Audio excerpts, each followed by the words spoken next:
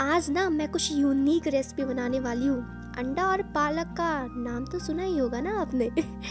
तो इस रेसिपी को मैं कुछ डिफरेंट तरीके से बनाने वाली हूँ। अगर अच्छा लगेगा तो चैनल को सब्सक्राइब ज़रूर कर लेना प्लीज़ कर लेना प्लीज़ प्लीज़ प्लीज़ कर लेना। तो चलिए बनाते हैं। Welcome back to my channel N S Rasoi दस बीस तो सबसे पहले गर्म कर लेंगे हम लोग कढ़ाई, उसके बाद डाल देंगे तेल।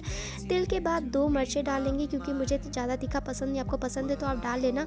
उसके बाद हम लोग डाल देंगे पालक। तो चलिए पालक डाल लेते हैं। उसके बाद सारे पालक को अच्छे तरीके से डालकर आप इसको मिक्स कर लो।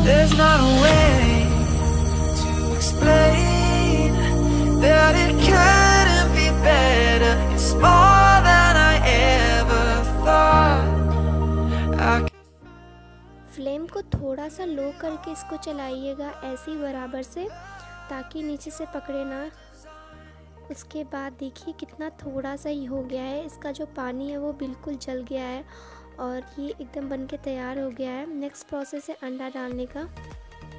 तो चलिए हम लोग अब अंडा डालेंगे। अंडा मैंने ले लिया, अब इसको इस तरह ऐसे नहीं, इसको हम लोग अच्छे से फोड़ कर ऐसे डालेंगे। जस्ट किडिंग तो चलिए इसको हम लोग डाल देते हैं। तो मैंने डाल दिया, अब इसको अच्छे से हम लोग मिक्स कर लेंगे। तो चलिए साथ में मिक्स करते हैं। When you dress up for the night and I don't say a word, it's not that I don't notice, but still you should have.